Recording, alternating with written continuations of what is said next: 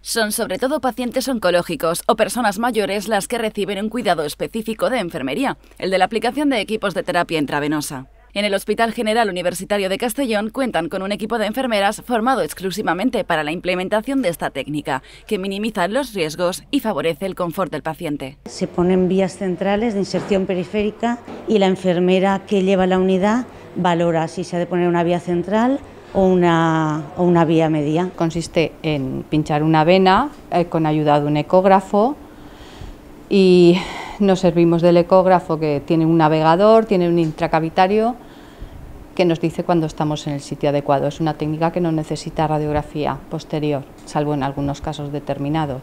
Medimos, preparamos el brazo del paciente, montamos un campo estéril y luego ya pues nos vestimos nosotras de estéril y, y lo insertamos. El uso de equipos de terapias intravenosas reducen riesgos a los pacientes como una posible implicación accidental de otros tejidos próximos o infecciones.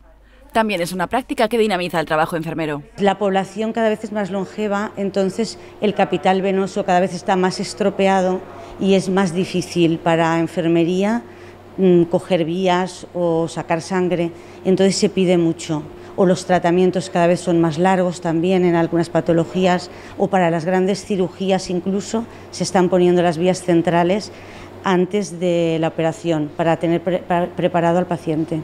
La decisión de emplear esta técnica depende de muchos factores, entre ellos el pH de la medicación, la duración del tratamiento, si va a ser un tratamiento largo o no, eh, el capital venoso del paciente es muy importante, porque siempre se piden pacientes en que el capital venoso es escaso o está dañado.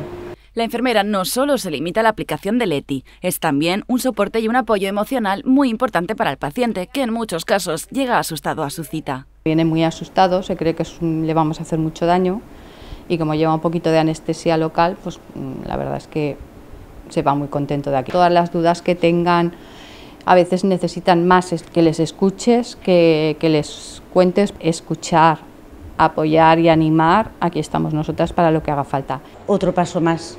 Yo creo que sí, que enfermería cada vez somos abarcamos muchos campos, pero cada vez es una enfermería más especializada. Además, en el servicio se realizan charlas formativas y cursos para refrescar conocimientos sobre los SETI y para enseñar también a compañeras nuevas en la sucesión de contratos temporales.